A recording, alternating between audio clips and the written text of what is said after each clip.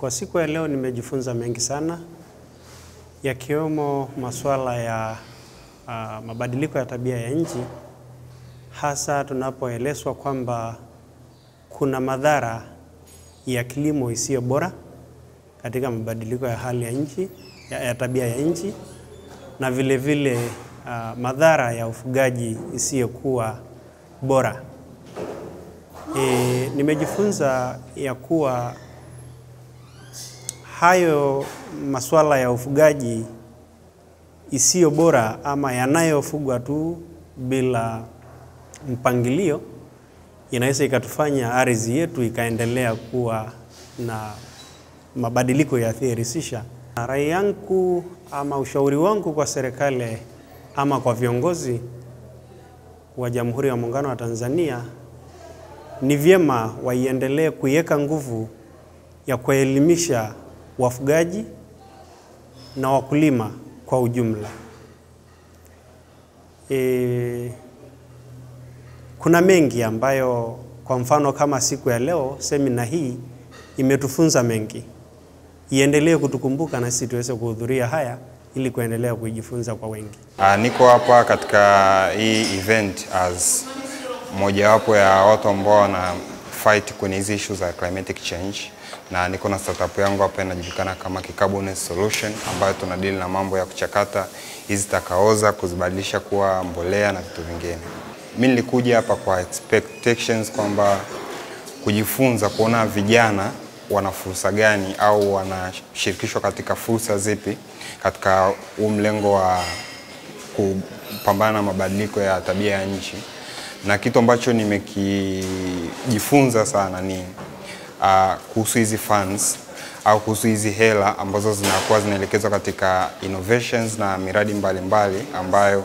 inasababisha kutatua uh, masuala ya mabadiliko ya tabia ya nchi. Uh, kitu kubwa kinachosababisha ni uh, hewa chafu ambazo zinazalishwa katika sehemu mbalimbali ikiwemo uh, hii sekta ya taka ambazo sasa tunajua kwamba hizi taka zikikusanywa zikipelekwa katika madampo hizi uh, takaoza nyingi huwa ndo zinasababisha mchefuko wa hali ya hewa na mwisho wa siku ndo kuja kutokea mabadiliko ya tabia nchi ambayo tunaona majanga kama mafuriko uh, tunaona ongezeko la joto uh, katika sehemu mbalimbali. Kwa hiyo sasa kwangu mimi nachofanya ni kuchukua hizi takaoza ambazo zingeweza kuleta hizi uh, matokeo hasi katika mabadiliko ya tabia ya hali ya hewa na kuzichakata kuzibadilisha kuwa mbolea ambayo inaweza kuwa ni mbolea rafiki kwa mazingira na kubadilisha pia kutengeneza wadudu ambao ni sosi ya protini, na tunajua kabisa kila siku binadamu katika maisha yake anahitaji protini sana. So kwa namna hiyo ndo jinsi ninavyokabiliana na uh, kutatua uh, masuala ya mabadiliko ya tabia ya hewa. Kwa mimi ninaweza kasema kwanza serikali inabidi uh, isiangalie tu hizi ngazi za juu na hawa waongeaji wa hapa ambao wanajulikana, pia iangalie namna gani ya kuingia mtaani,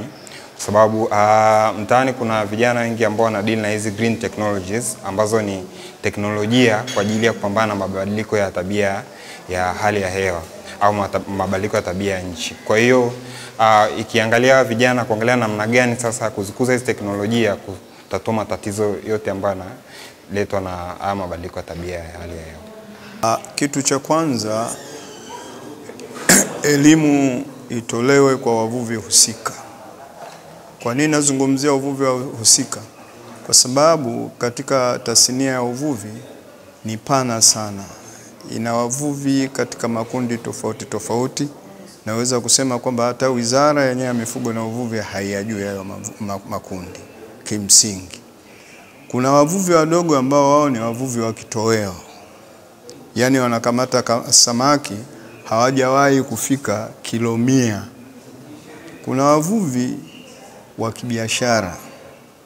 ya, ya, ya, ya, ya chini ambao wale wakienda wanakuwa katika boti moja watu kumi mpaka ishirini na kuendelea, na kipato chao ni kile cha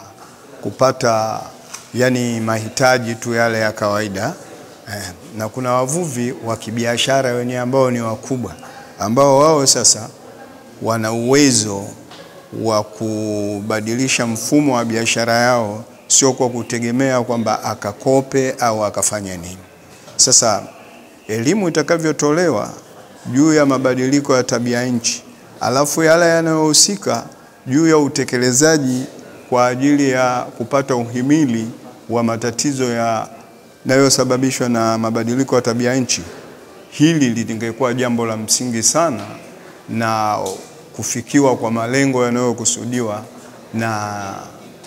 dunia pia na taasisi mbalimbali mbali, kama hivi hii Forum MCC na yale majukwaa yetu ya Tuna Alliance na kadhalika.